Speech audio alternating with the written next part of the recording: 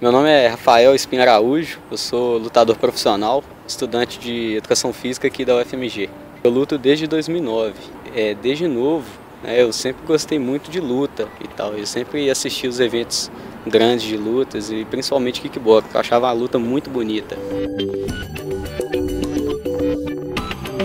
Quando eu estou em época de competição e pico de treino, treino por volta de 5 a 6 horas por dia é, estudo na parte da manhã apenas.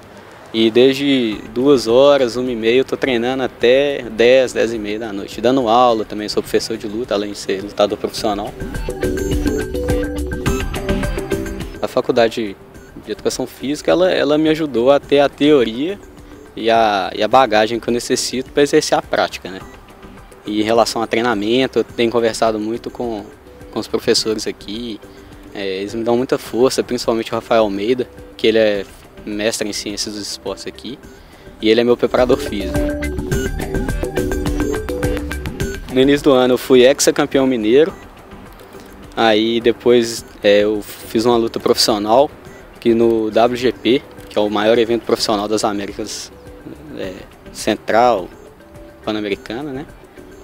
E aí depois dessa luta eu fui para a Copa do Mundo que eu também fui campeão do mundo lá. Então, tipo assim, esse ano tá sendo só, só resultados bons. Ganhei um patrocínio também do Thomas Somers, que também é um amigo meu de faculdade. Também, além disso, no início do ano eu fui ranqueado como, como o quinto melhor atleta do mundo. Aí com esse título mundial eu acredito que eu vou subir no ranking.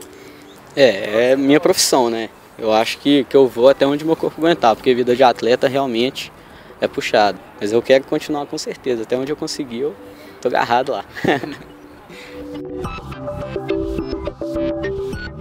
Quando você quer fazer uma coisa, eu acho que não, não tem barreira né, que te impeça de fazer.